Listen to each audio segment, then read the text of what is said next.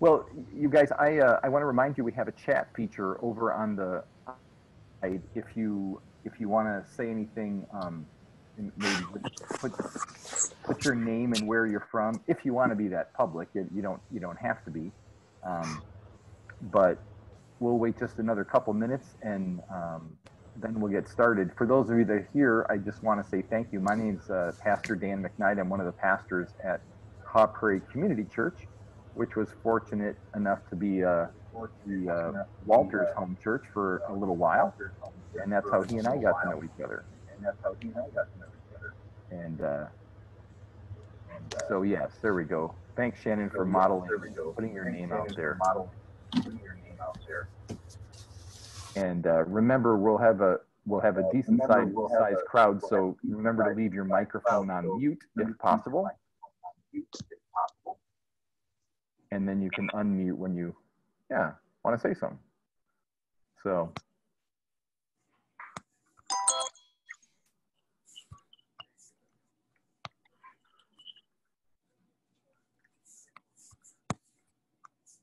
Thanks, Laura. I introduce you too. Thanks for uh, responding.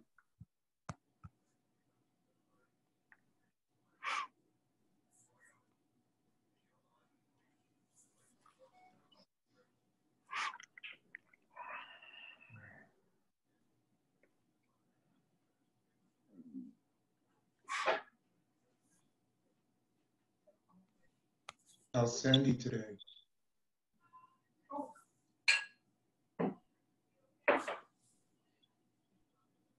Hi, Sandy. Hi, Pastor Dan. How are you? Oh. Uh, Hello, Jackie and Laura and Steve.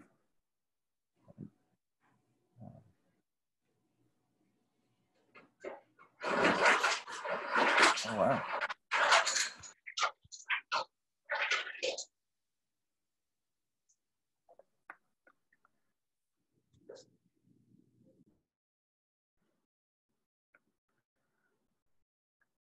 Well, so um, just to give us a, a, little bit of a sorry late dinner video off so you don't have to watch us eat. Well, Chad and, Chase, Chad and Tracy Ogren, we want to thank you for that courtesy. um, uh, yeah, if you didn't bring enough for the whole class, uh, thanks for keeping your camera off. Um, well, you, you, guys, I want to um, I want to begin by saying again, thank you for for dropping in tonight. I expect we'll have uh, more fill in as time goes on, but uh, you know we don't have we don't have a ton of time. If you're from the East Coast, you're probably um, it's probably getting late, and if you're um, well, if you're anywhere, you've got a, a busy life. So again, I want to say thank you for being willing to join us tonight. There are people here who are friends of others, uh, members of different churches. Um, and all sorts of all sorts of people who have um, a desire to see the world be a better place and for that to happen. Um, there's a lot of us that have to learn a lot of things. And, and tonight um, what's gathering us together are the are both the images and the the, the terrifying stories that that all of America has seen uh, recently. And so we want to be asking um, those of uh, those of you who are primarily our African American brothers and sisters to uh, to help those of us who are white and don't don't live in the exact same world that you do. Um, help us see what what we need to see as just fellow citizens, as fellow Christians, um, or just fellow people that uh, that have blind spots bigger than we even can imagine. So um, I wanted to begin by asking uh, my friend Walter Hill. Um, to uh, say a few words for those of you who don't know Walter. Um, for those of you who do, you'll you'll you'll know a lot more, or you'll you could have said a lot more than I'm going to say. But for the Kaw Prairiers who might not know Walter and the others in Kansas City, um, Walter was a member and an active um, leader developer at our church um, for his as long as he was here in the Kansas City area. I was blessed to get to know him, and we've become friends um, over the years. Uh, while he was here, and then after he left, uh, he's um, showed my wife and me some really good cooking tips uh, he, when he would be here to visit and uh, see his son Devin play volleyball up at Park University um, for volleyball tournaments there. So that's how um, that's how Walter and I go back.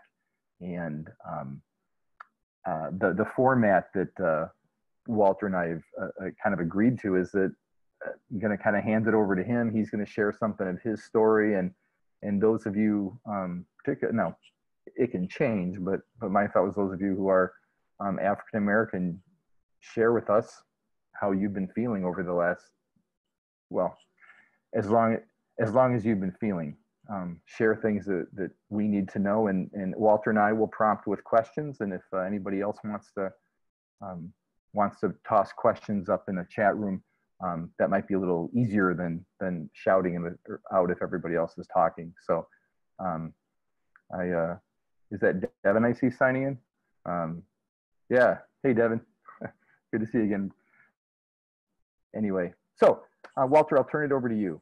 Um, welcome and uh, thanks for your leadership in getting such an awesome group of friends and family here. Yeah, no problem. Thanks, Dan. And you know, I, thanks everyone for joining. And you know, this all started out me calling Dan with an idea because here in California, I had a couple people that came and asked me about sitting out on the on the uh, patio and and talking about race and diversity. I, I run a um, a be a bridge group in, in Ventura that meets where I get to cook, but also get to share meals and talk about different things about differences of races and ethnicity and all kinds of topics and about learning about people. So it kind of started that way. But I called Dan to get some ideas, and he said, "Guess what? I was just thinking of thinking of you." So God's always at work, and it was timing, and and you know, and having a, a, a platform to be able to share experiences and have a better understanding of what's kind of going on there from a different aspect of people might that might have experiences and the negative experiences in their life is, is just an benefit. And I appreciate all the, the friends I have that are on here that probably have heard me talk a little bit about it, but a little more detail on sharing some of maybe their experiences. And so we all can learn from each other and, and be able to be better at reacting and understanding and be able to share that word with someone else maybe, or maybe just the start of being able to say something and say something so people kind of get a better idea uh, and the feelings that go through, you know, some of the African American men that are on here and women that, and friends what does that make them feel when they see some of the things that are going on, that are happening, so we all can have a better understanding. So with that in mind, uh, I appreciate everyone's uh, on the call now and listening, and just understand this. This can go anywhere you want it to go, and it can just be a start, a conversation, and it doesn't have to end like this. It doesn't have to end anywhere. It can be a possibility of sky's the limit, especially with uh, technology and things we can do and where we can share our voices and everything like that. So, but this is being recorded, right, Dan?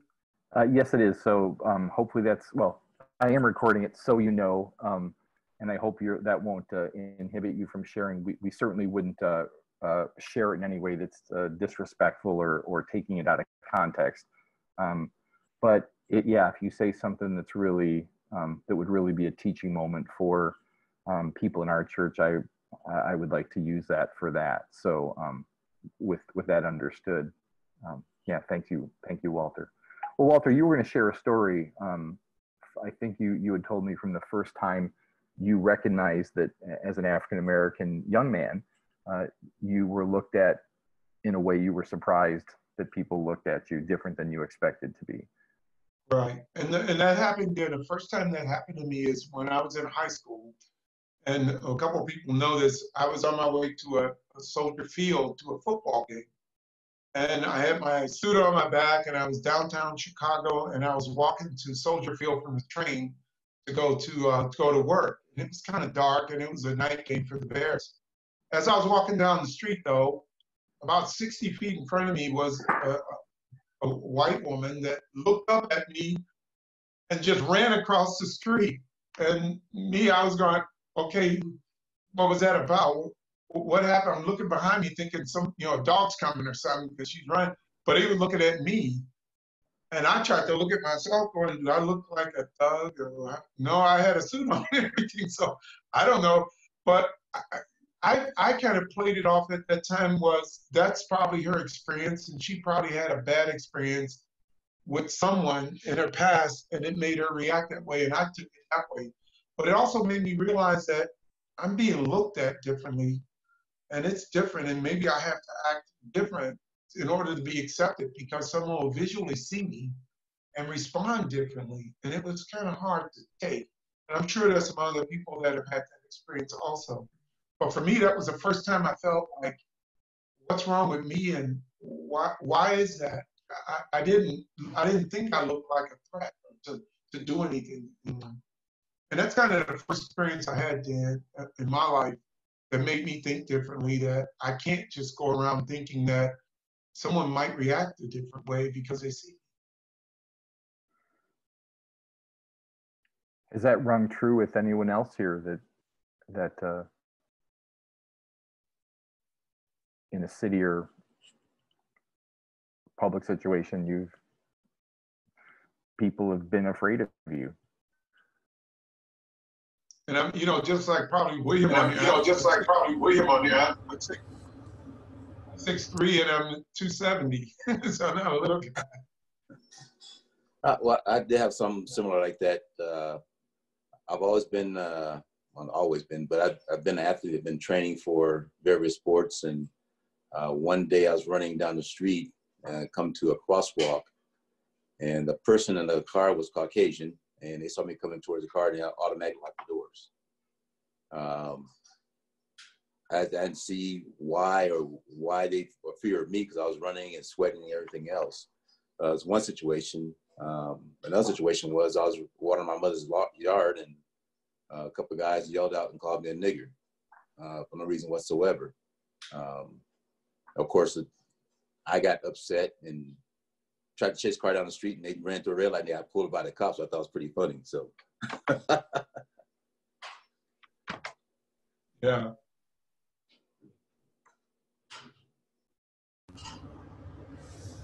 Thank William for sharing. Thank William for sharing. Fred? Well, I being out here in the uh, trucking industry, I've been out here for 34 years, and being able to um, come up to all, all kind of races of people. And, you know, we have our CB radios where, you know, we, how we communicate with, with one another. But um, I've had a few occasions where, you know, some white guys, you know, I can recall one time I was at a truck stop and just got to getting fuel in my truck, and this white guy in Missouri um, he walked. He was walking by my truck, and and he was like mean mugging me, looking at me, rolling his eyes, and I was doing paperwork, and I'm like, I looked down like, okay, what's his problem? And he just walked in front of the truck, just looking at me. He was a local guy in a dump truck, and so I'm like, what was that all about? So he got in this truck he was taking off. I seen him, you know, reach for his CB, and he got to calling me niggers and this and that. You, in, in that in that particular truck I was driving, said you niggers think y'all, you know, got it going on. Got to talking about all the different. I'm like, I'm like, you would do that after you leave, you know, but you want, you know, he didn't do it in the face, and that's one of the things I hear that we deal with as, as blacks is a lot of you know the, the racial thing that's going on out here. They get behind their radios and hide behind their radios. I'm I'm non-violent whatsoever. It, will take a lot to get me started. You know, I, I I hear name calling, and I don't let that bother me. You know, to to to a certain extent, but we we hear it all the time. You know, we getting called all kind of you know names, monkeys and all that kind of stuff, porch monkeys and things of things that nature. But you know, I you know, as being a Christian, you know, and, and raised up in the church and being uh, in the, in the ministry, I you know, my father always told me, you know, taught me as a kid, sticks and stones, you know, my brick with bones, but words never hurt me. And I've always stuck with that. And it's it's kind of hard for me to just just instantly latch on to somebody, you know, you know, calling me out my name because I know that's not what I am, and I just pray for them, you know, and and just, you know, and let God deal with them on that situation. Yeah. Yeah. Thanks for sharing, Fred. Thanks for sharing. Uh, my Fred. son's on. My other son is my on right son's now. on. My other son is on right. Say hello, Christoph. Hey, how's everybody doing? Welcome, Christoph, to uh, this Kaw Prairie Theology on Tap Zoom meeting. Welcome. Thank you. Hi, uh, my name is Shad Smith, and I'm, I'm a medical doctor. Uh, when I finished my residency, uh, uh, I was a chief resident, and all the other uh, people in the uh, in the program got offers uh, to join practices, except for me. And so, uh, the a lot of the things we see are not as uh, forward as calling you names. There's a some hidden things underneath where you don't get opportunities that other people get. Thanks, Chad. I had something similar happen to me at Oracle. so I can relate with that. That's amazing. Thank you. Yeah, shout out to Shad. He uh, he's he's done um, presentations for our uh, staff. Uh, uh, he's here in our uh, Kansas City area. Thank you, uh, Shad, Dr. Smith, Yeah. for being. Well, yeah. The other thing about that is that uh, when you ask why, they say that uh, we like you, we're not prejudiced, except that our clients are prejudiced, and therefore we Hmm. can't have you here because we don't want to. we don't want to upset our clients. Wow. Has And lose that- money. I'm sorry. Has that changed over the years? Um, for those of you in the in African Americans in, in professions like medicine or you know, trucking or anything, has prejudice gotten less? Has prejudice gotten less? No. It's gotten worse. No, Oh. no, It's gotten worse. no, You're right, no. worse. Hmm. It's gotten worse. I've I've had a situation like that as well, where on a job, few jobs that I was more qualified than some of the other guys that was coming in, and a lot of times I got turned down for the for the promotion, and they would bring somebody else in. It would be a white guy that was with a lot less experience than I had, and a mm. few cases, those guys come in and wreck the trucks where, you know, I have a you know clean free record, you know, and they come in, bring them in, you know, just because, and they want up not not panning out, but they still would just go by and get someone else than the person that that's you know more qualified for the position.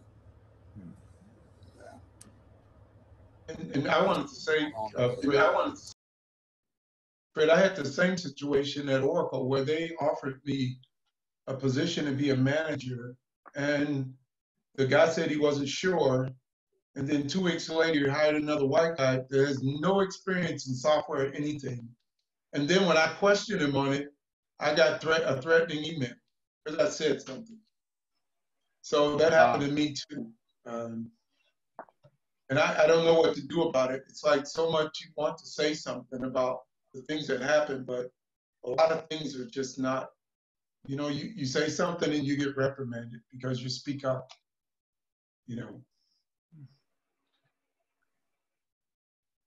I sure appreciate everybody that shared. Um, are, are there others here? I see uh, some some Kaw Prairiers that, that I know. Um, Lauren, uh, uh,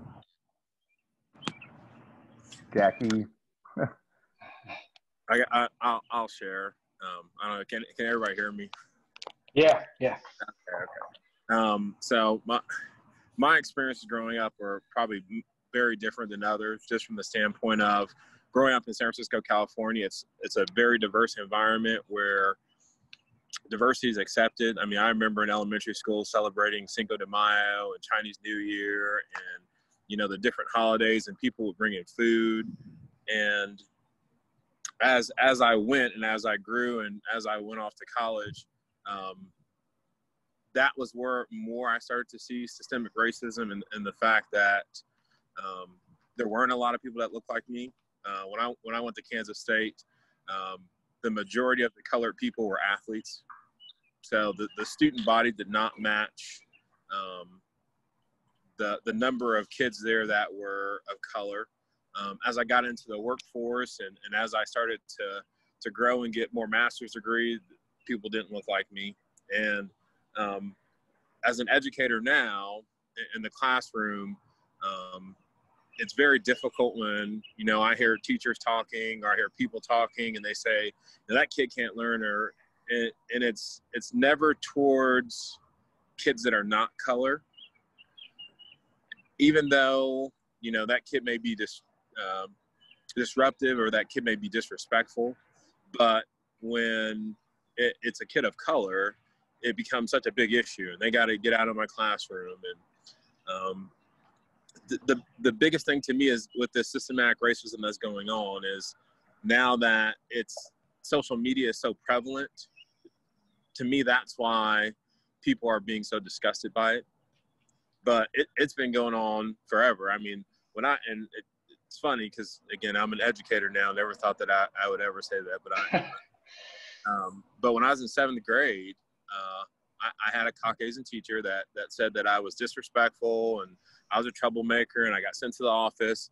And my, my mom was the type of person that she said, okay, if he's doing that, she, she went to school with me all day. She sat in all my classrooms with me. And I remember going to that class, you know, and the teacher gave me assignment. I got it done. And once I got it done, just like any, you know, 12, 13 year old kid, I start messing around. Well, that to her was being disrespectful.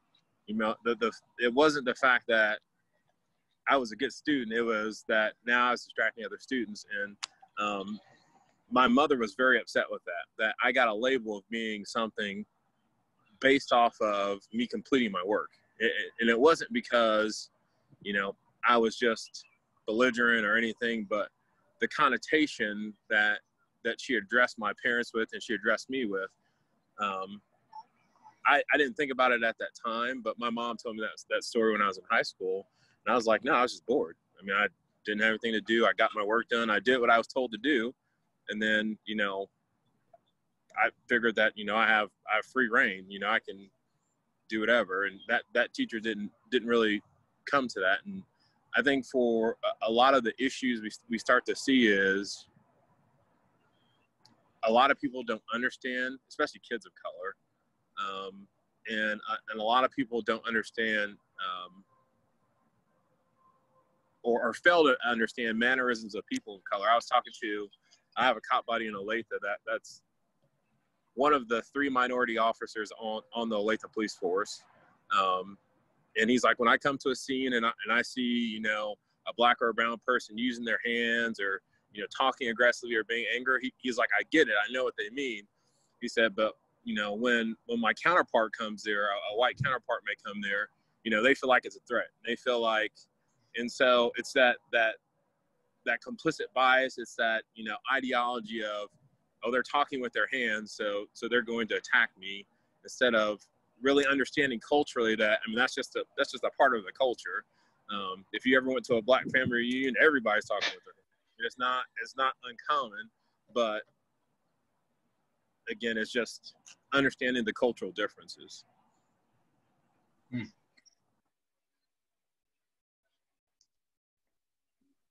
What what learnings do you think any of you think that that white America could and should learn at this at this unique and well this this powerful juncture of history um, with with all the you know, protests and um, what what are you hoping will happen? What do you think is realistic to happen?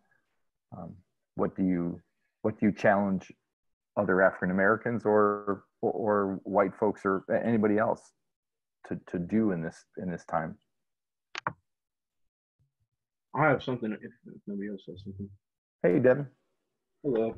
So, um, my mom actually. So my mom's white, um, and she actually talked to me earlier today about being at the store at a grocery store, and she saw a black woman looking at like eye makeup and my mom does Mary Kay. So she wanted to ask the black woman if she like needed any help finding anything or anything like that. But she told my mom told me that when she was about to ask her, she thought about all that's going on right now and thought about how it could be received, whether this black lady was going to tell her to like that she doesn't want anything to do with her or anything like that. So she felt like she she held back instead of like reaching out and like trying to I'm trying to help her out.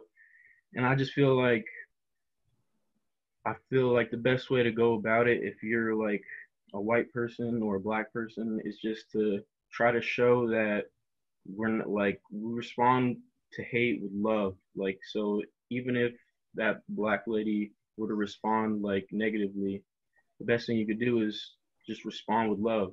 And then that could change that white person or that black person's perspective on, okay, well, you know what I'm saying? This racism that I felt in the past, you know, maybe that maybe there's another, a, you know, a new chapter that we can get past to. But i'll just say to like, just make sure you don't look at it in terms of how they might respond, but what change that you might have a possibility of making in their lives. So, Thank you, Devin. Thanks, Devin. You know, Dan, Yeah, I just want to say you. one thing about awareness. You know, I, I see a lot of things happening in my life and not respond and react. And I always tell, and some of the kids on the phone know, I always tell them, you know, instead of reacting and respond, just count count to five, count to seven before you even say anything. Give it time to think about it before we respond. And I've had situations where I could have responded in anger, but I counted and I waited and then I respond. And I actually had an incident that happened when I was in, uh, funny you say this, because I'll tell you about a story. When I was in uh, St. Louis, I went to get my uh, passport at the post office. And as I went in the post office, I got my passport and I was coming back out and I had a red Prius, really nice car. I just bought it. So as I was going of the car, an older white guy walked by my car and just spit on it. And I thought about it. Like I said, I didn't react. I just said, wow, what was that for? And instantly what came in my, my mind was, I just need to pray for him because I can wash that off. It's not anything that's going to hurt me. But as I walked to the car, I looked at spit and then I looked at him and he walked over his car and I looked and he looked and he and he went around to his car and he got a rag and he wiped off my car and he said, I am so sorry. A bug flew in my mouth. And I give that example because sometimes we react too quick without just thinking and praying for a person. And even if he was, he had hatred, all I could do is pray for him and just get in my car and drive away and go through the car wash. It, it really is not worth me feeding the negative. And that's the way I kind of look at things because I don't think God wants me to feed negative. He wants me to feed the positive and pray for him. Now, that's all I have to say about that. Wow. And just also, I just want to just want to think tell everyone this is a safe environment. You can say whatever you say. You're not going to be judged on this call. I, I told Dan that when he asked me about talking. This is not a call to judge anyone because they have an idea or some question might be stupid because it isn't. We only know what we know. And we need to be in a safe place to ask questions about what we don't know and give people with love in their heart, in their minds to respond to it in a positive way to teach and learn from each other. And we, lo- I love people to share their experiences because I learned. That's all. Thank you, Walter. Thanks for that permission. Um, Mary, I see your hands up. Yes, uh, sorry, I'm tuning in late, but I just want to give uh, an experience and then tell you how I, a little bit of how I feel about what's going on now. Uh, I, it, I was a teller back in the 70s, and nobody in the whole building looked like me. Even the janitors and the cooks or anything, about 20 tellers there, all of us. And nobody would come to my line. Nobody. Very seldom, maybe somebody would say, I don't care what they say, I'm not standing in line, I'm coming to you. So the head teller, who was young, again, that's why I think the young people are gonna gonna help us through this. Uh, she would shut down all the tellers except me. They had no choice except to come to me. and they would complain, but she was very, very nice to them, said, uh, oh, I'm so sorry, but all the other tellers are balancing, but Mary will be glad to help you. And I worked so hard to get all get that line down. I just felt so good. Every afternoon, I got customers. And I just wanted to tell you that I feel different. I've been, I'm old enough to have gone through lots of, lots of uh, uh, racism and lots of stuff, marching and all that. But I just feel different about it this time because of the involvement, the diversity, and the young people are, they, I think when they've seen this video and then mm-hmm. starting to realize what we're going through and to see that diversity, I just feel different now. I just feel like hopeful that things are going to change because it, they're starting to change. And with this whole pandemic thing, I think a lot of things are changing because people on the bottom that you never even paid any attention to, they're getting interviewed. People that uh, pick up the trash, do the cleaning up, all of a sudden now they're so important. And I just think there's, I just feel that there's a change that's happening right now throughout the world. That's just what I had to say. That's powerful. Um, Dan, can I can I ask a question? Is that all right? Oh yeah, Walter has said we are we are clear to ask questions. um, my name is my name is Chris. I'm Dan's colleague at, at Kaw Prairie, and um, I guess one of the things that I've been wrestling with over the past uh, week, just watching everything unfold, is where to find the balance as a privileged white person, which I know I am, the balance between listening um, to those who are more experienced than me and have so much more insight than me, but also speaking up um, because I, I feel a need to speak up. I don't want to be silent to the things I'm seeing. And I'm having a hard time knowing where that balance is. Um, so, any insight in, into that would be awesome. Well, I can give you my view on that, Chris, in, just about uh, where balance. I, I talk about this all the time about balance. There needs to be a little bit of both, but I think you said the first thing to start is, is listening, and really listening. And, and that's the thing about being heard, and you hear these things all the time. This is all. Some of these things are not new, but there are also things that have been going on and no one's listening. It's the same thing when people march. They just say, some people say, well, they march, it'll go away and we'll go back to the same way it was. And like Mary, I feel like it's different because I think people are listening and listening in a change and something that's been going on, not recently, not in the last years, but a long, long time. And it's deeply, it's deeply embedded into this whole country. But until people wake up, and, and Dan and I spoke about this word, woke, you know, it's time to wake up and, and see the things that are going on because we have, and everybody has a little bit of privilege, some things we don't see going on because nobody says anything and they, they don't think if they said anything, it would make a difference. So I think, you know, what you're asking and, and about balance is being able to listen, but being able to take that what you listen to and put the people around you that can you give you advice and you love how you might respond. And Dan's a witness of that because he knows when I'm challenged, I reach out to all those some of these people on this call. They know I'll reach out to them and, and qualify my thoughts and what I should do. And I don't have all the answers, but if I have a group of people, I'll get a bunch of different ideas. And with idea comes a thought, and the thought comes a process, and then there comes execution. And that's the way I, I would, that's my thoughts on that, Chris. Thank you. Chris, I, I would also say, I, I would echo Walter's thoughts, um, but I would also say, don't forget about your privilege. Know that it's there. Yeah. Um, a lot of people don't understand that it truly it, it, it is a privilege that some of us don't don't have you know and just the the color of your skin um, in today's day and age people see that as as different and as privilege. And so don't forget that you have that but use that for good. You know use your powers for good you know um, of how you can help others when you know when when they're they're being held down or being held back or something like that. How can you help to lift up? Thank you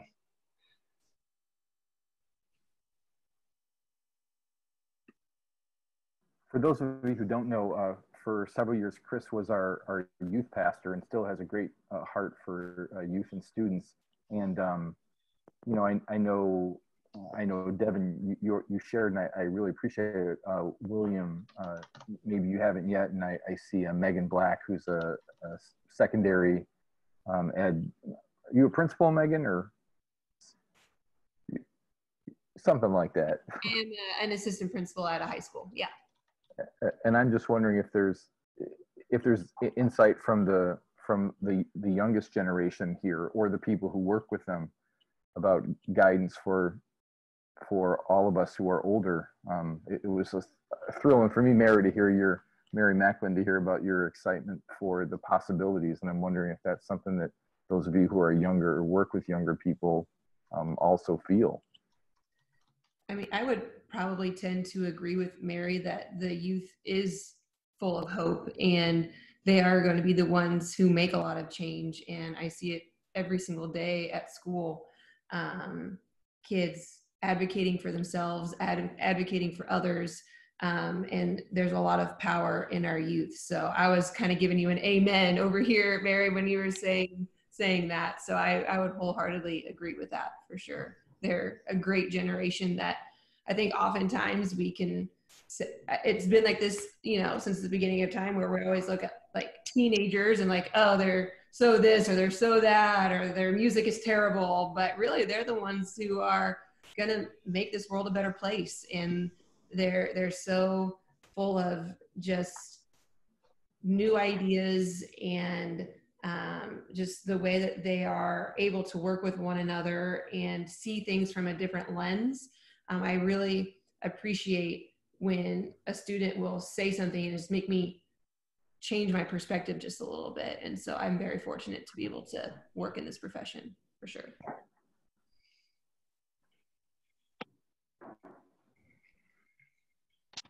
I, I kind of wanted to echo that with, with Megan. Um, uh, most kids, I would say, especially younger kids, don't see color. Like they, you know, that their friend groups are so diverse, they're so unique, and they have things in common. And I, I honestly don't know when that separation happens, where we like really start to look at individuals as they are this color, and because of that this color, that they have this status.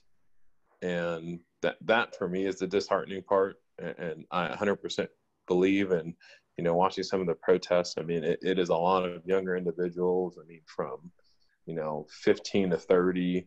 Uh, and, and my biggest concern with these people is get out and vote. I mean, if, if you want your word to be known and you want your feelings to be known, I mean, that voting is the number one thing. And I, and I always talk to my seniors about it. Um, from the standpoint of I don't care who you vote for, but I mean you, you need to get out and vote, and you need to represent, you know, what our democracy is for. And I think going forward in our country, um, as as people of Christ, I think you know making your voting voting choices based off of you know are they showing those types of behaviors you know are they are they treating each other like they want to be treated. You know are they are they honoring god with their choices? Uh, again we're humans. We're not going to be perfect. We're going to make bad choices and bad decisions. But you know are they following you know those types of models you know caring for others? And i, I think that's where in, in the african american community we, we tend to bounce back from things like this and we let them slide because we we are such a close knit group, and I mean, we have each other's back and all, and all those types of things. But I think as a country, I think we have to see more of that. And that kind of goes back what what Chris was asking about is you know to me that balance is you know being there for others and helping others and reaching a hand out and you know that young man talked about um, his mom wanted to ask about makeup and and making that jump. And yeah it, it it, may sometimes come back to, to slap you in the face or there may be some backlash but it's the effort and the thought that counts. And i think sometimes when we're doing things for good it's not it's not always going to turn out the way you think it's going to but still reaching that hand out and still showing that compassion and that love through christ um, i think that's a big piece of it. And, and for me as a teacher i think that's why kids like me just from the standpoint i talk to all kids. I don't care your race ethnicity understanding level. I mean those things don't matter to me. You know i mean i, I love all my kids regardless if you know they're great one day and not great one day. But it's it's more of that i think in society that's that's super super important. Yeah and to kind of piggyback on some things that lauren said there too i you know i think it's also naive to think that it's one big happy family every day at school you know like there are tensions that arise and, and some of them are racial in nature and it's just having the integrity to face those head on and um, have those conversations with kids have those conversations with parents and say this is what happened at school today. We we we are not going to tolerate this happening at school and most of the time parents are like oh my gosh i am so sorry. We did not raise our you know son or daughter to say these things or to do these things. And uh, it, it's it's the conversation that has to be had um, and we we do see that sometimes and it breaks my heart um, when we have to deal with situations like that. But i don't want to also say you know the entire generation is open-minded and willing to you know uh, put differences aside because we do still have work to do there. And so um, i think acknowledging that is is a important step as well. Yeah. I would have to agree with that statement. Um, growing up in a predominantly white area, uh, the first time I was racially discriminated against was actually first grade. And so um, I ended up having to move classes because all of like statements of like actions that I did not do, like a girl was being threatened to like her animals were going to be killed and all I was going to harm her family, but they were just false statements, you know. And then the next time I was racially discriminated was actually in seventh grade and like me being athletic, a lot of a lot of my athleticism, people credit to being black. They're like, well, you're because you're black, you're you're this much faster. That's why you don't lose. Da da da da da. But it has nothing to do with that. I just work harder, you know. And then I think that's also why I work so hard in school. I have a 4.4 GPA. I'm taking five AP classes. You know, I take all these steps because I don't want anyone to hold that against me. That like I'm just because I'm black is the reason why I've made it so far in life you know and that's what it's hard to kind of like wrap around my your mind around is like i'm listening to your guys' stories and it's like the same stuff that i've been going through my life still. You know i still get followed in stores time to time you know. I was uh, in eighth grade i was with a group of white friends. I was the only one to ask people to have their backpack put down after school when we were at a concession store. You know it's just like stuff like that. And you can instantly tell like the difference you know. Well, William, I, I want to piggyback kind of on that because to me, this is where we start to see well, where did that kid learn that from? Mm. That that is the bigger issue. You know, why is uh, you are saying those things? And I think that's parenting because, and I can tell you this, like my my son who's mixed. I mean, he he experiences that, but if you look at his classroom, there aren't very many kids that look like him, and so he he he does get picked on, and I I struggle with how would a first grader know what your ethnicity is unless they have been blatantly told by parental figures?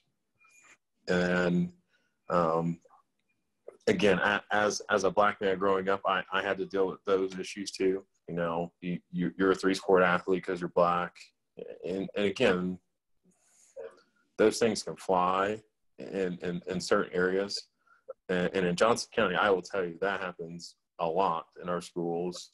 Um, when you look at some of our top athletes, but the, the big thing I think that you're doing well is you're not perpetuating the stereotype. You're an academic student. You're not just an athlete and you're you know persevering through some of those difficulties which i think you know all, all of the older people have had to at some point in time whether it be with a job or you know uh, you know i people look at me funny when i walk in the stores. You know i i have i have dreads and again you know the the immediate reaction for most people when they see my hair is, you know, he must be a thug or he must be this. And I think breaking those stereotypes is part of the battle and, and changing the persona from um, the characteristics of certain people of, of what an African American male is. Um, because again, if you look at media, if you look at film, I mean, we're perpetuating with this stereotype, which is also a system that's been put in place. And you know that you know it's every you know every every uh, when I was growing up, every black male was Boys in the Hoods. I don't know if you've ever seen that movie, but that that was the thought process. Oh, you got a blue shirt on, you must you must be in a gang. And I mean, it it's sad because instead of getting to know people, you start to judge people.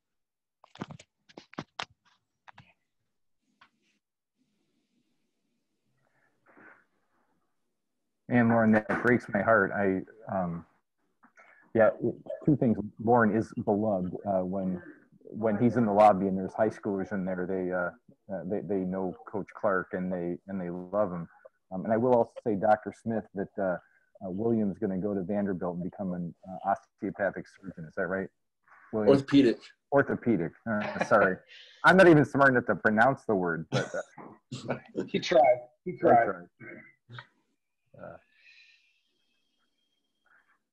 so um, here's here's another question, if that's all right. Uh, you can all tell me to shut up if you want. Um, uh, but so you know, we live in Johnson County, and I cannot tell you how many times I hear people say things like, you know, racism doesn't exist on a large scale. These are all isolated incidents. I, I mean, obviously, I don't think this, but this is something I hear all the time.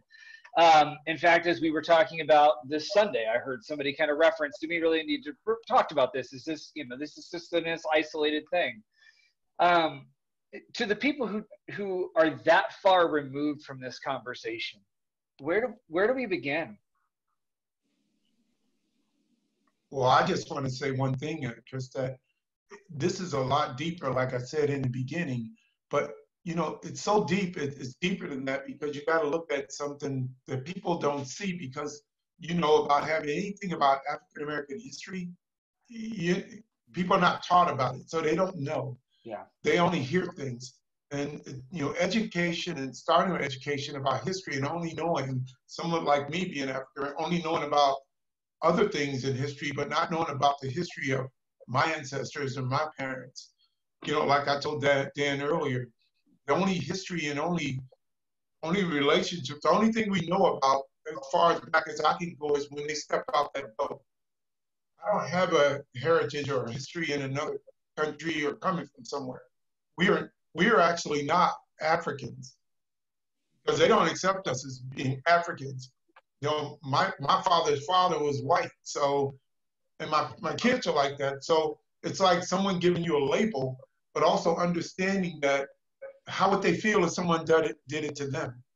And it's the same thing about what what and I told Dan what strikes me always is I have triggers, and I have triggers the vision of slavery. It'll never go away because of what I know and what I what mom her mom told me, and what the history they told me. But it's something that's going to always be there because we're a country dividing. We've always this country's always divided everyone and they divided the lower class. How do you get rid of that? It's just like you say, young people have to change their thinking. And similar, like you said, young people are doing things because now there's more social media and there's more interaction. During my time, William, some of the, and Fred, some of the people, there wasn't a lot of that. You know, it was this area and this area, and the same thing like William was saying. If you're an athlete, you know, you get a little bit of, you get farther ahead, but you don't get the education, and they think you can't do the work, or someone want to be more academic. Back in, this is back in the 70s. So there's a lot of history that goes on with that. And I think some people, when we talk about awareness, it's also education. And I think things will change a little bit, just like we're trying to understand on this call. I don't have a vehicle and know how you change that from an educational standpoint. My, my sons will tell you when they're in school, they actually asked me to come and teach African history during February. I'm not a teacher. They just said, can you come in and talk about African American history? Because they had no content. So I'd have to look up content and I'd have to tell stories. But that's kind of wild that you have African American History Month and the school district doesn't put content together so kids can learn. So hmm. I don't have any any vehicle to do that. If anybody want to chime, chime in on that, that'd be great. But that's just my experience. I would 100% agree with that. Just being in like school now, it seems like in our history books, there's probably two chapters, two chapters that really go over Black history, and that's it. You know, that really like damages. They don't want to like tarnish American history so much they don't want to really reveal like what has really happened in our past, and that's where wow. it kind of goes wrong with the people just believe that like it was in the past and now it's over. And I've had heated discussions with classmates, with my peers about them saying that racism isn't a thing anymore and I've gone off on people and explained to them my stories, and I've explained to them like the world around them, and they still don't believe it just because they've grown up in like this bubble and they haven't been educated enough to understand what is happening today and what has happened for 401 years and will continue to happen unless something changes. Yeah, I don't know if anybody's done any tests testing on implicit bias. Has anybody used that? Uh, that's one of the most effective things that we work with is uh, helping people understand what their biases are. Uh, the other thing that you might do is ask uh, a white person uh, if you gave them a million dollars would be okay if they if they were black. Is, is it worth a million dollars? And usually, most people that I've heard uh, will not accept that. They would rather stay white rather than uh, get a million dollars. That kind of tells you where you are if you if you look at it from that angle. Hmm. I, I would just like to say that uh, I, I don't have all the answers, but uh, working in my prior life when I worked with HR, we would try to get people to get out of their comfort zone and maybe hire somebody that didn't look like them or maybe talk to somebody that didn't look like you. Like I, I was on on the store on one of the stories that's with uh, with the uh, the protesting and all. One stranger let 70 young kids, uh, all all diversity, into his house, and he said he let strangers in, but then they all said we're no longer strangers because I think prejudice is fear, fear of the unknown and it's just been handed down. You fear them. They're different. They're other. And if more people would get out of their comfort zone and talk to somebody or, or just, uh, uh, just try, like, uh, like uh, some of you said, put somebody else in, think about them. Whereas if it were you, how would you feel about something? And you could start by uh, just getting out of your comfort zone a little bit. And if you want to ask somebody, uh, African American, a question about something, go ahead. Uh, and and I'm sure, well, I'm not sure, but there's going to be times it's not going to all work out. Oh, you're not going to all have that kumbaya feeling, but just keep on doing it because it's worth it because people, we're all human beings and it's worth the effort. I actually had a quick question for you guys. Um, so the other day, actually, like for for my whole life, I feel like I've kind of been put in a box where it's either like you I'm either like a white black guy or a black white guy or like as if I'm supposed to be a certain way um, or identify as a certain culture. But it just makes me feel like I have to hate one side of like who what makes me who I am. I'm not I'm I'm white and I'm black and I'm proud to be both. Like I feel like having both like these perspectives has been able to make me so much more stronger or at least have a better understanding of both sides so I can make my own like interpretation of it. But at the same time it's like I still deal with like I played volleyball, um national champion uh, back in the day, retired now. But um all my life everybody's always talking about like, oh you must play basketball, like yo, yeah, I bet you can dunk, like like and of course like I mean I might I, I do like playing basketball, but it's like when I say they play well I play volleyball, they're like, oh they're like, oh I wouldn't. that's like it's so it's so surprising to them. It's like and it makes me feel like, oh yeah, I'm like I'm out of place or like I shouldn't be doing this, but you know what I'm saying? And it's like my thing is even even the other day I, I met my neighbor at the pool the other day, um, a white guy all tatted up. Um, his wife was there at the pool and they were just speaking like straight Spanish. But he started talking to me and he was like uh, he asked me like a little bit about myself, where I'm from, and I was like, I'm from Arizona. He was like, So what are you? And I was like, What do you mean? And he was like, Are you black or white? And I was like, I'm both. And then he was just like, Yeah, but like, what do you identify as? And I didn't really know how to respond because it's like already you're trying to limit me to like this concept that you create that like he's already created in his head and then based off of that you're going to treat me differently like based off of whether I identify myself in a different like way. So, and then he felt after that, he felt comfortable calling me like nigga. He was like, yeah, damn, I got niggas over in, in Chicago too. And I was, I'm just thinking in my in my head like, like I just met this man a couple minutes ago. He's telling me about being in prison and stuff like that, and how he's blacker than me because he's from Michigan. And it made me wonder, like, like my question to a lot of y'all is like, what is it? What is blackness to you? Like, what does it mean?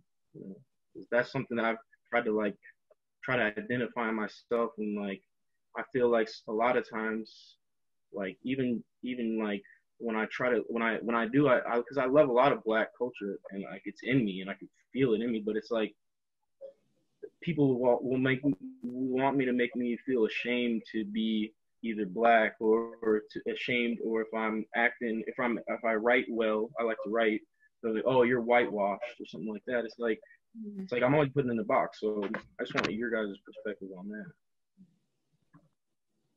That's a great question. Um, number one is wow. that, yeah, number one is that uh, it's human nature to try to categorize uh, individuals or things uh, immediately. So no matter what you look like, people are going to categorize you as one thing or other until they get to know you. And so it doesn't matter. Number two is that uh, you don't have to try to be something based on what other people think you should be. And when you start trying to be black this or white this, you're going to lose part of who you are. And you don't have to do that. And when you try to do that, you really is going to you're end up, you're going to end up worse off than you really are. So it's really important for you not to try to be a standard that somebody artificially creates for you because you're going to lose if you go in that direction. But it's really important to recognize that it's part of human nature. All the things we're talking about, if you go through the Bible, it's full of the kind of prejudice against different groups. It's just part of that. And just recognize that's part of being human. And from my perspective, that's part of our challenge is to overcome these natural tendencies that are out there. And that's kind of what we're doing today is trying to help deal with some of the physical, uh, emotional things that are, are, uh, are, are put to us and this is just a test that I feel from a God perspective that we have to work with because it's not going to be given to us that everything's going to be good tomorrow. We're going to have the same kind of issues tomorrow and the next year. And this is not something that's going to go away. And if it, If it's not blacks, it's going to be Hispanics, or it's going to be Native Americans, or it's going to be gay. It's always something that's going to happen where we're going to try to uh, step on somebody's back in order to go forward as a community. So it's just something that we have to do as a community is to overcome these these tendencies to judge people based on an external rather than what's inside of them. Thanks, Shad. That's that's really great. Thanks for that answer. And it looks like Fred wanted to say something, but I'm not sure if he still has something to say. Fred? Well, um, first of all, Devin, consider yourself a child of God. One thing. That's that's one thing that you do know that who you are and whose you are. It doesn't matter what what race that you might be classified as being. Just know that one thing for sure that you are a child of God, and know that you know your parents are, are a mixed race, but just live that life of love. That's that's one of the main problems that we have in this world today. As you know, if everybody would show love, oh wow, what a wonderful world this would be. But we know that in this world that we're gonna have the good and the bad. I mean, that's just the way it is, you know. And the Bible speaks of that, you know, the good and the evil. And we just have to just, you know, continue to do what we need to do as being Christian, true Christian brothers and sisters, and just try to get along with one another because God made us all the same. You know, um, I understand, you know, my Caucasian brothers and sisters that, you know, y'all have it a lot better, you know, I, heard him say the word privileged, you know, and, you know, with having good credit, you know, you're able to go and get things, you know, in corporations and banks, get loans that, you know, the black person, you know, that has just as much clout, we can't, you know, go and get that, you know, but that's that's society and, and corporations how they treat, you know, the uh, difference between the two. So we need to know, boy, if we could just come together, you know, and and with this racism, people gonna stereotype you regardless. I mean, unfortunately, you know, the black race stereotype each other, you know, and doing that, you know, and because I've had that problem as well, because I have a, you know, a mixed granddaughter, and I've, I've, I've had had the question like, what color is she? I'm like, what does she look like? You know, what does it matter? You know, she's my granddaughter. I mean, why why even ask that question? That's crazy. You know, so you telling me, you let me know where your mindset at. And this is black, you know, my own black people, you know, that ask those questions. You know, it just, you know, just like it is with you know the white race, our black race, we need to come together. We need to grow up and do something. You know, do something better than what we're doing, as well as the, the white race need to come together and understand the the flaws that that we're having with society. Um, you know, looking at us, you know, in a whole different way. You know, and wow, you know, like I said, if if everybody had their love, what a wonderful world it'd be. You know, and somebody asked, you know, said the question, where does this, you know, at, at what age does kids start looking at blacks and white? Yes, it's being taught. it's being taught. Um, my wife and I was in the state of Texas in one of the little small towns, and we love Dairy Queen ice cream. And so, of course, my wife and I was the only blacks in there. And wow, this white couple came in with their two little kids, you know, a little boy and a little girl. The little boy was youngest. And so my wife know that we, we were eating, you know, some blizzards, you know, and they were sitting over there on the other end.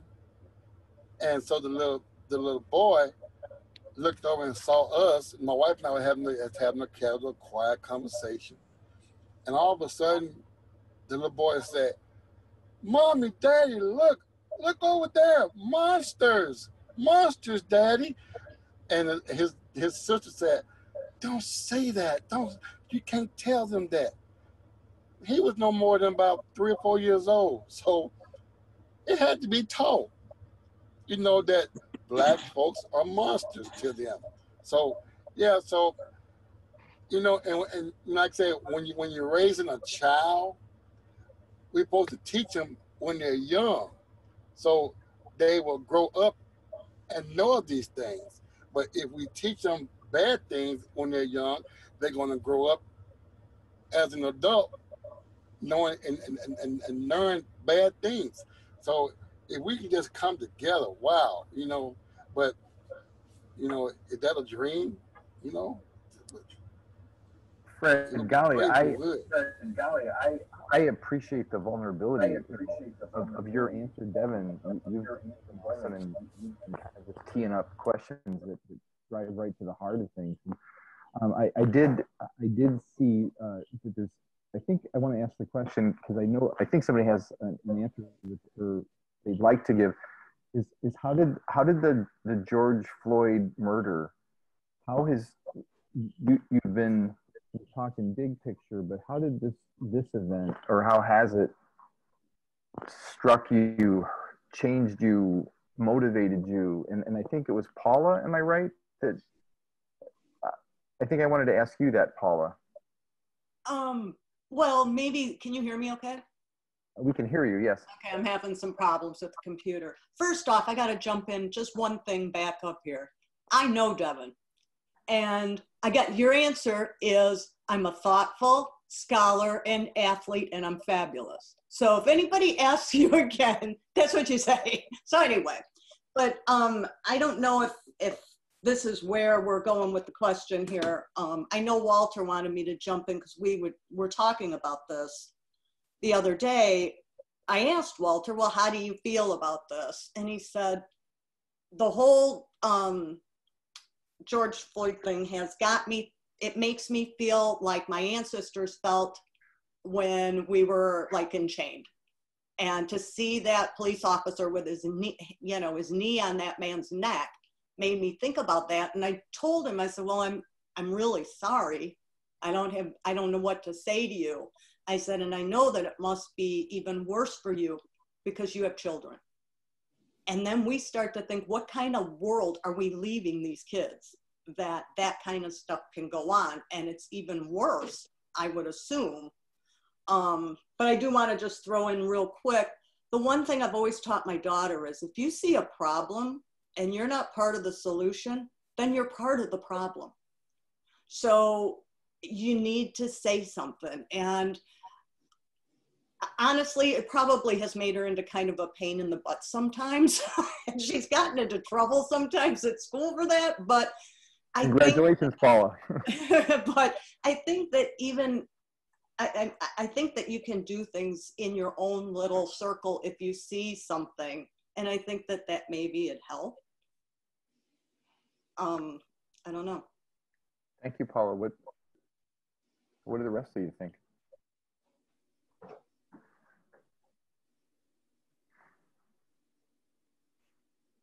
Well, it, it made me feel vulnerable uh, and lucky to have lived as long as I have and to recognize that at any given point, if I had said the wrong thing or been in the wrong place, uh, then I could have been in the same situation. So it just exposed to me uh, vulnerability and uh, my love of life uh, and just how fortunate I am to have gotten as far as I have as a uh, African American man. Chad, I think for me also kind of the same thing. I felt vulnerable, but I also thought, what if that was my son's or my grandson? And you know, how would I feel? And, what am I leaving for them? Can they can they walk around not feeling they're a target, or if they don't say the right thing or look the right way, they could be that could possibly happen to them. And like Paula was saying, and when I explained it to her, my feelings, it, it's the things that I felt like because my dad worked in a stockyard about holding down a pig and just slitting its throat, just holding it down. That's the vision I get in my mind. I can't help it, but I start to see that, and it just infuriates me. about how someone could be treated that way, like an animal. And, and that's how I feel.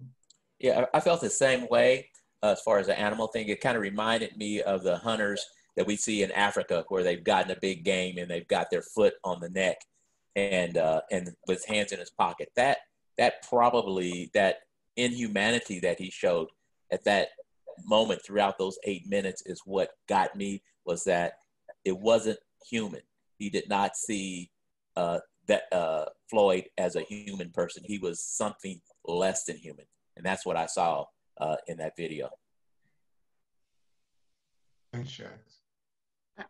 I just think that this is motivating uh, me and maybe other people to make some changes. There has to be some policy changes because you just can't go on like business as usual. I don't think we're going to be allowed to do this. The whole world is looking at us. And and and you're right, it just crushes you when you think about 8 minutes. That's a long time.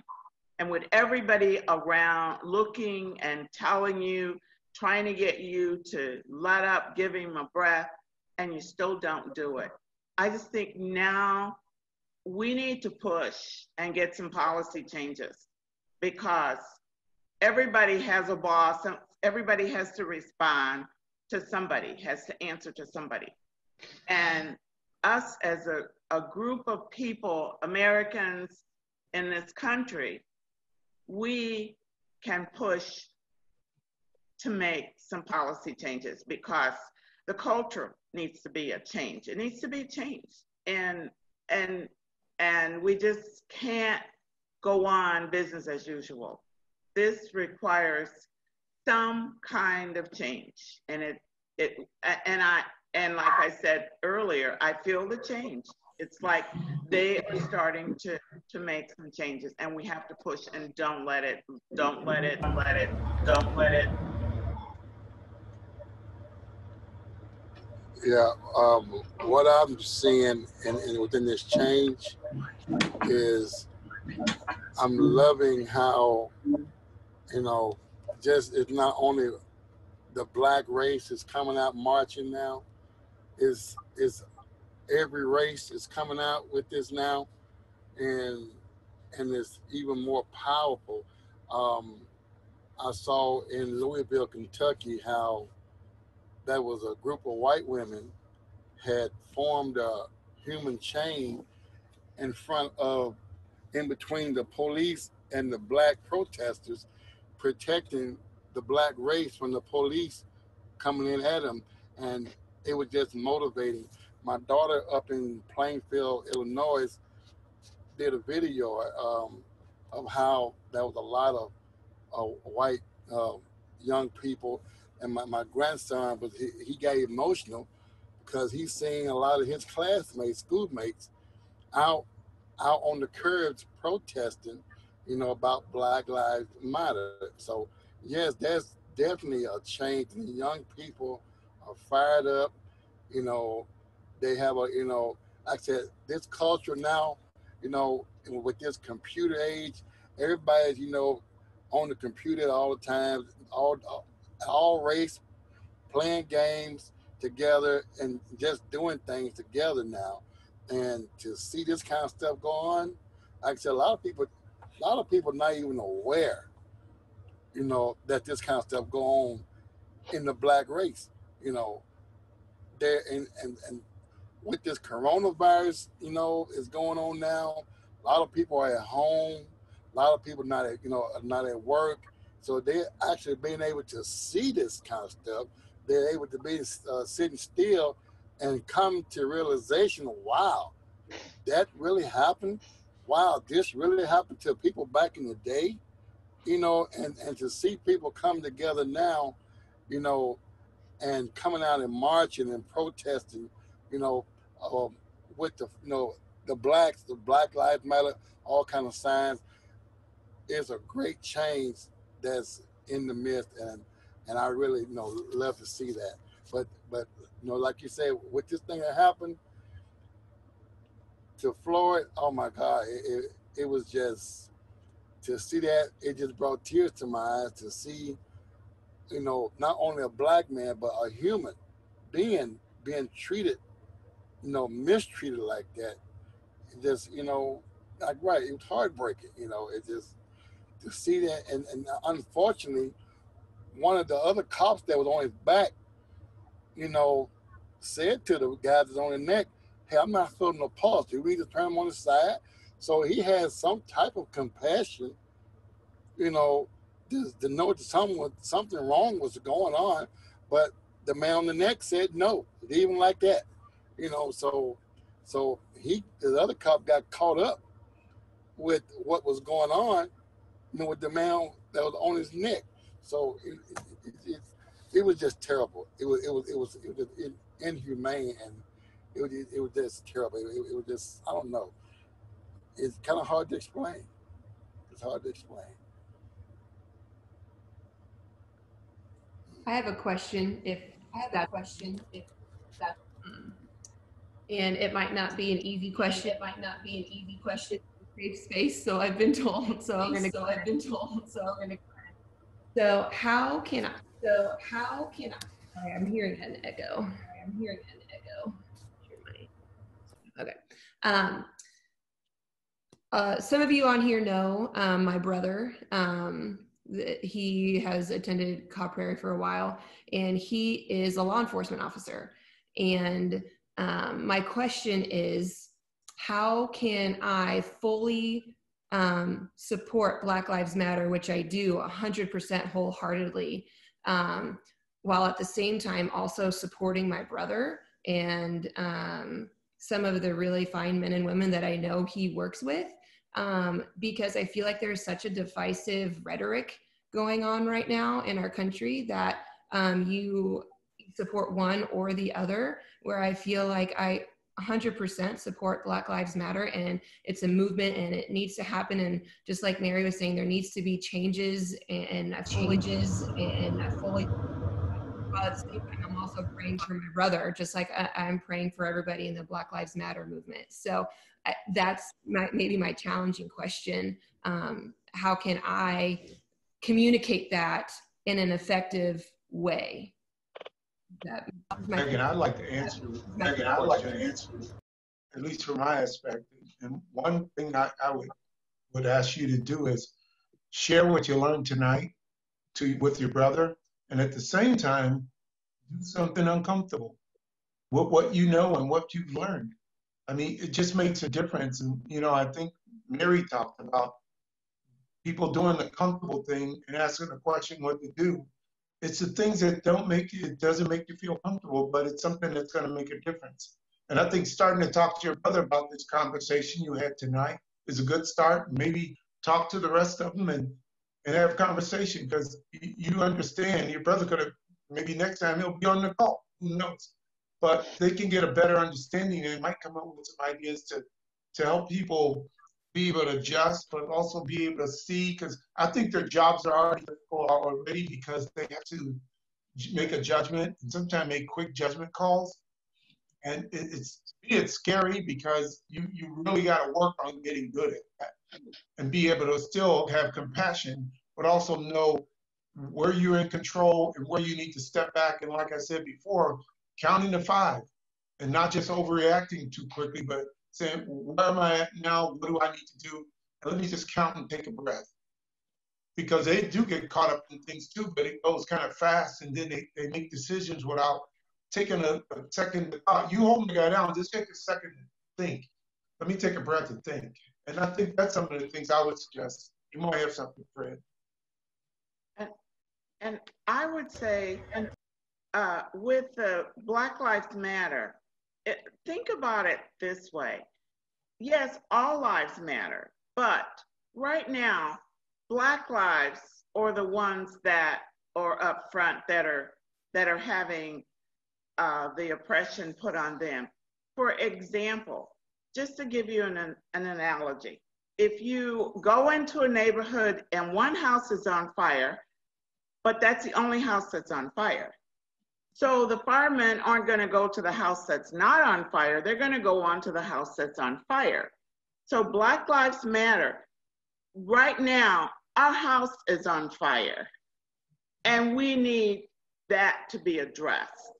And it's not that you're you're not you're saying all lives don't matter because people say that to me all the time.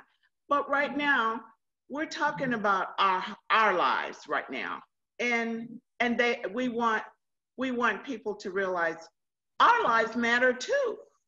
It's not just uh, anybody else, because right now, sometimes, and it's not right now, it's been that way a while too, you get the feeling that our lives don't matter. So, Black Lives Matter is a movement to say, yes, don't forget, our lives matter too. I, I want to piggyback on that. I want to. I, I think the big thing, and hopefully there's not an echo going. Uh, the, I think the big thing with, especially with law enforcement officers. So my, my both of my sisters worked in the criminal justice system in the state of California for 20 plus years. And one of the comments they always made to me growing up was, "You never need to be in here because you you should have your wits about you to make good decisions." And one of the big things that I, I think for police officers is having that conversation with people in the community, knowing their community, and I mean talking to their fellow officers about some of these things.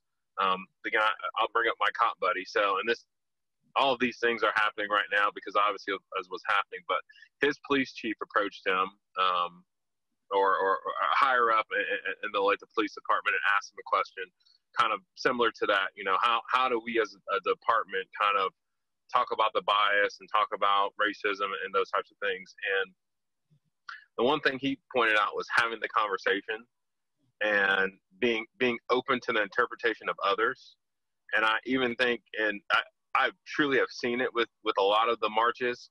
You know, just the love that some of the protesters are showing the police officers who are, you know, are humble enough to take a knee or humble enough to have a conversation, or the police chief uh, in Houston I mean, there there are there are tons of examples out there that it's not a divisiveness of, you know, which this has happened in the past, you know, blue versus black.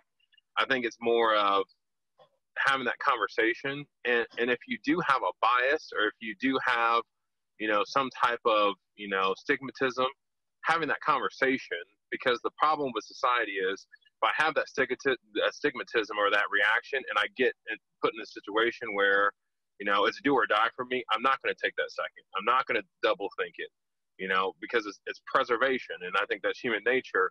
But I think when you've had that conversation and, and you've talked about your biases and maybe there's been training about it or, you know, obviously policy change would be a, a big addition to that.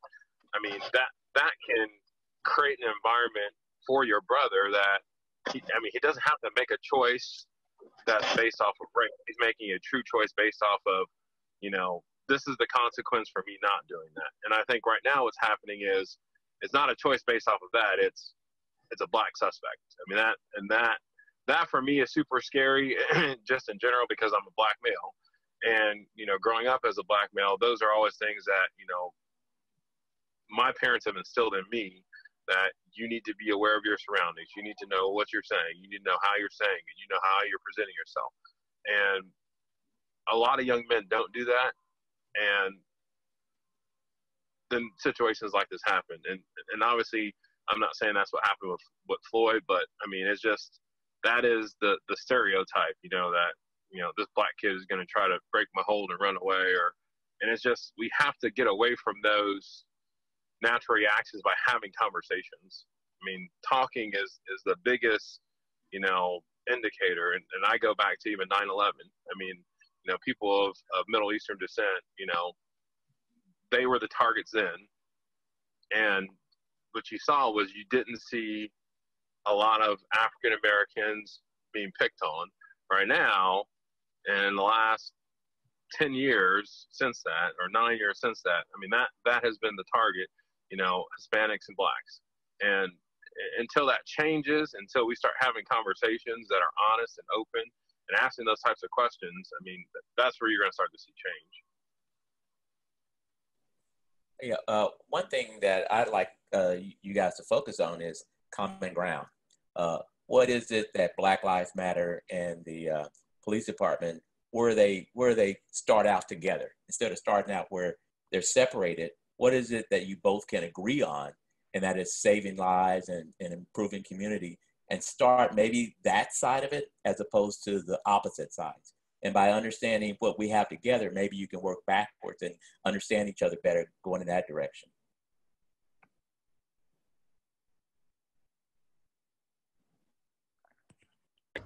And I'll say to her to support your brother. Support your brother as long as he's doing what he's supposed to do. That's right. It's not part of being with the wrong, you know, and don't you know don't settle to peer pressure from his peers on the force to make him commit and do wrong things that he knows that's not of his character. I say to support your brother. And as well, support your brother, support everybody, you know, that's trying to do the right thing. You know, you know, like I said, the people that's not doing right, you know, we pray for them and if it's possible to talk to them, you know, it, sometimes you have to, you know, have to be careful with that. Because even with this coronavirus thing, people are killing people because they're not wearing a mask. You say something to them about it. So you have to be careful how you approach. But I say to you, um, support your brother as long as he's doing right. And like they said about um, if you see wrong and you don't say anything about it, you're part of the problem. So if like you know, and that's with all of us, that's everybody. If we see things that's going wrong and we don't say anything about it, we're part of the problem. So we need to speak up, you know, when we see things that, that, that, that are not right. So support him as well as supporting everybody else. You know, in in uh, relation to that, uh, Fred. Uh, so I know Megan's brother. Obviously, he's a uh, he and his family are part of our our church, and one of the one of the difficulties for me to get into the to to follow what's happening is with one very distant exception, no, not a part of our church, every police officer that I know is of exceedingly high caliber. And, you know, obviously there's people can surprise you, but these are not those guys and women, right? And so I, it's it's hard for it's hard for white people of privilege like me to even imagine that, that there could be the kind of brutality and cavalierness that we saw from uh, the officer on, on Mr. Floyd. And so I just, I want to say, as we're, as we're winding down, at least as we're coming to the end of the, the outer end of what our theology on tap usual time is, um, what a what a privilege it's been for for me as a as, as a white guy with with a couple African American friends um, to hear from to hear from many of you whom I didn't know or I don't know as well, and just to hear what how your eyes and how your heart are are perceiving all this. One of the questions that uh, Walter and I had been talking about is this obviously isn't a focus group to write new policies or procedures. This isn't a this isn't the United Nations committee or something. This is just a group of people. I think most of us are Christ followers. Uh, we want to make the world a better place, and we want to lift up. We we want to run to the burning house, and and we love all the houses, but this house is on fire, and we want to be part of putting it, putting out the fire. It, would there be any interest in in having this type of of gathering again uh, with a, with a structure and maybe a set of questions that that you can think about ahead of time maybe that's got a little bit more back and forth in it i i just wanted to throw that out because that's something that walter and i had talked about um, it needn't necessarily be an answer that you you can only answer now or never um, but if there were anybody that wanted to speak to that, I think we probably need to start winding down, especially for those of you on the East Coast, because you probably have a bedtime. You can pick the little button that says yes or no. Oh, you are such a Zoom master. um, I would I would agree to that. Well, Fred, I'd make time to see you again, pal. So yeah, I'm in. Um, I'll t- I'll tell you what. Um, so uh, my my address, I'll just give you mine because it's the only one that I can think of right away. Is Pastor Dan at kawprairie.org. If you if you um, send me an email then I will make sure that you get invited. Um, is that how I do it, Chris? You know things better than I do. It, it- yes, although I'm slightly hurt you can't remember my email. It's fine though. Um,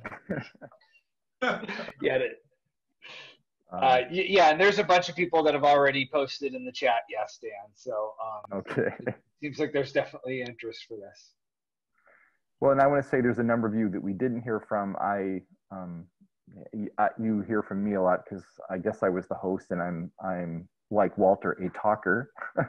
um, but I I want to say thank you to those of you who who listened and probably have um, some deep stuff to share too. We just didn't get time to to hear from you. Um, I, I want to ask uh, before we go if uh, Walter, my brother, would uh, would you be willing to close us in a in a prayer for the evening, and then we can send out some uh, we can send we can send out some details um, in the morning light. How about? Sure, definitely.